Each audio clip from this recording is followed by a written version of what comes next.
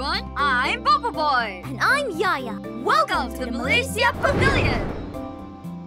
BoBoiBoy, do you know that Malaysia Pavilion is committed to the No Single-Use Plastics Pledge campaign?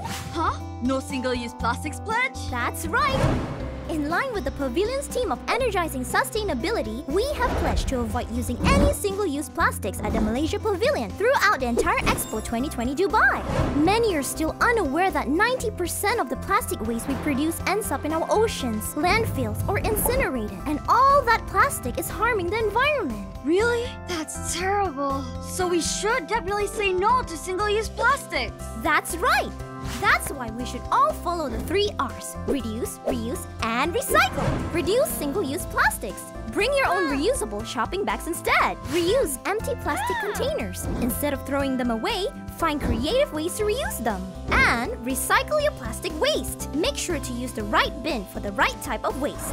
Join us and take the No Single Use Plastics pledge to ensure a sustainable future for everyone. Follow the three R's and say no to single-use plastics. Awesome!